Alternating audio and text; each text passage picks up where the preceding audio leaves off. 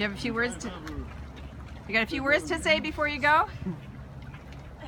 He actually climbs over on the next uh, You say a few thing words? over here and climbs up and jumps off that one too. Oh, There we go. He's You're a crazy kidding. Russian. To Canada. Woo! oh my God!